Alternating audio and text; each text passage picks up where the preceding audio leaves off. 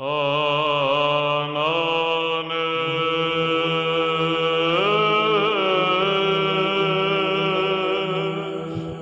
there!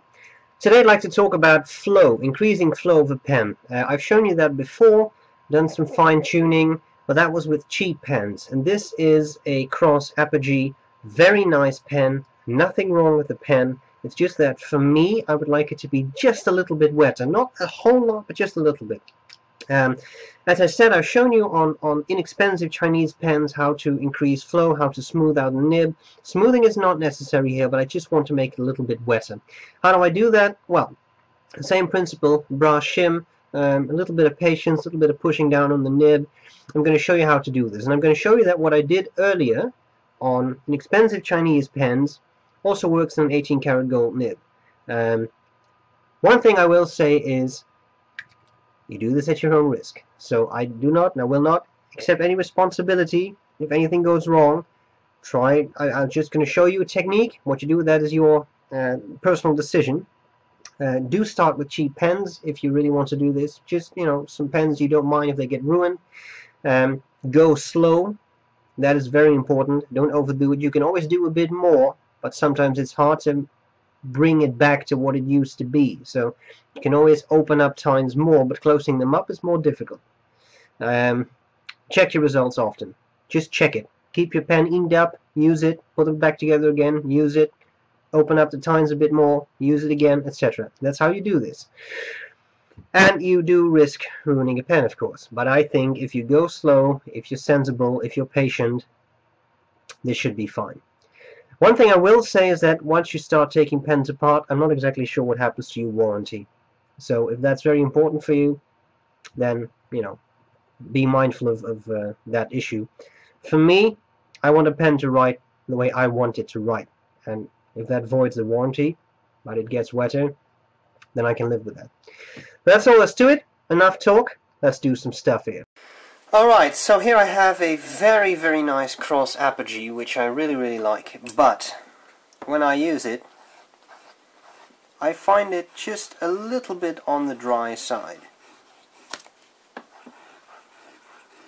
And I've just inked it up, so right now it's okay.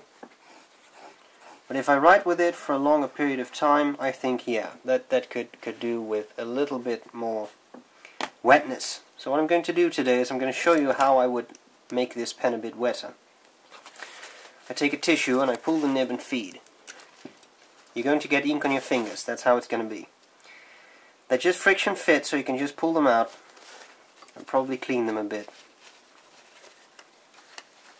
You can use anything. I use a tissue. Um, this is an 18K nib, so be a little gentle, you don't want to scratch anything. Now what I'm taking is one of these two thousandth of an inch brass shims. I'm taking a new one because this is a really nice nib. The problem is I, I, I can't really show you, but when I hold this up to the light, and I see a beam of light pass, and I see that that, that, that gap gets narrower, um, but it actually, the two tine tips, they touch, and I would like to make sure that is not the case. So I just slide this in, I always use the the breather hole to, to sort of stick that into and then I just pull this through a couple of times. Now what I'm what I'm doing here is I'm exerting some very gentle pressure upwards so that this tine come out just a little bit but you have to be extremely careful. There's almost no pressure that I'm exerting. Okay? Then I turn the thing around and I do the same thing. So now the other tine is being pushed upwards just slightly. You see what's happening, right? I'm, I'm sort of doing, I'm, I'm pushing that way so that that tine will open up a little bit and this tine will open up a little bit. But I don't want them to look like that.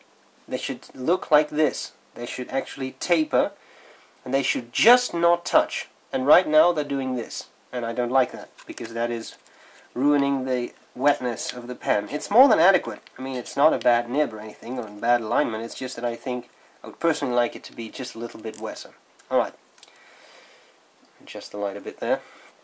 Um, so I've done that for a bit, and I'm going to hold it up to the light again. And I see that I'm getting where I want to be, but I'm not there yet, not entirely. so. Put the shim in. A little bit more pressure. And turn it around again. Um, you can see that this is an interesting to do for your warranty, right? I mean, you probably don't want to do this if you really mind your warranty a whole lot. For me, it's not a big issue. Alright? Yes, we're getting somewhere. Now what I do is I'll take something you know, I got a little mini pen that should work, it's metal I've opened up the, the nib tines a little bit, but I want them to open up a little bit more. I've shown you this trick in another video. So what I do is, I put the nib on something that's made of metal, and I, I really make sure I'm holding it well, so not all the way there, I'm holding it as close to the nib as I can, the actual tips. What I'm going to do is I'm going to push that up very gently. Very, very gently and very slowly. One, two, three, and I let go. So what I'm doing, I had that nib, I put it on there, I have fingers here. These are the tips of the nib. And I'm pushing the nib up gently like that. And then what happens is that often the tines open up a little bit under the pressure. That's what I'd like to do. Now I check my results. I see I'm not yet there entirely. I'm going to repeat that process. You have to be patient and you have to be careful you don't ruin the alignment of your tines. Two, three. I check it against the light again. And I see that I'm really getting where I want to be because now the tines are almost separated. So now I take my shim again and this passes through a lot easier now. And I would like, ideally, that the 0.002 inch shim is kept in place by the nib tines. But when I started, I really had to force this through. And right now, I can even go in from that side, which is a little difficult because I have to try and do this. There you go. I can just pass it through, and it passes through easily now. Okay, so I hold it up to the light again. Again, I'm sorry I can't really show you. Yes, the two tines just not touch. Now I'm taking one thousandth of an inch. That's a thinner shim. Whoops. Because I may have put some gunk in the nib slit. Um, because I was I was sort of shimming it with that brass stuff. Here we go, and then the other way around. So. And I always like to use my fingers and really pull on this and then usually I blow on it a bit. Okay.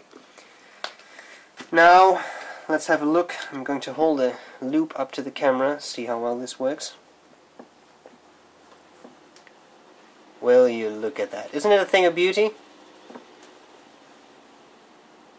I like that slit I think those tines just touch.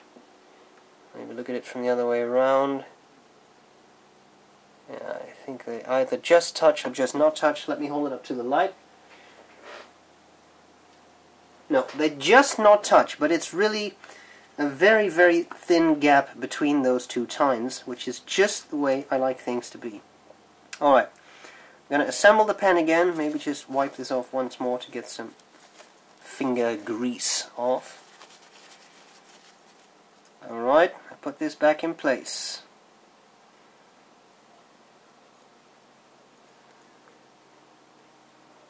There you go, that should be nice. I put it back into the feed. There any specific way? Yeah, probably this. There we go. Alright. Then I operate the converter just to get some ink. There we go. Flowing. I assemble the pen. Now I want to see what this has done. Doesn't write. That's normal.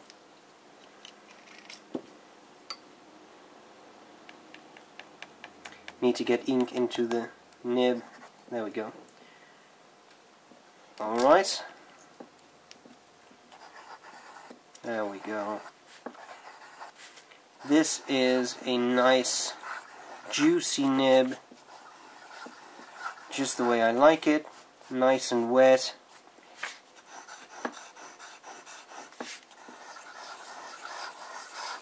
It still has that nice bit of feedback it used to have. It didn't get any scratchier or whatever.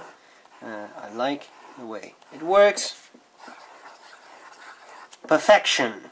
Just a few minutes fine-tuning your pen writes the way you like it to write I hope this was useful. I say again, you do this at your own risk. Start with a cheap pen, but I've shown you a bunch of Chinese cheap pens. I thought I'd show you this with a somewhat more expensive pen today. Um, you do it at your own risk. I cannot will not take any responsibility for ruined pens. But if you go slow, be careful, don't overdo it, just be patient, you can do this too. Hope that was useful, and I'll see you later.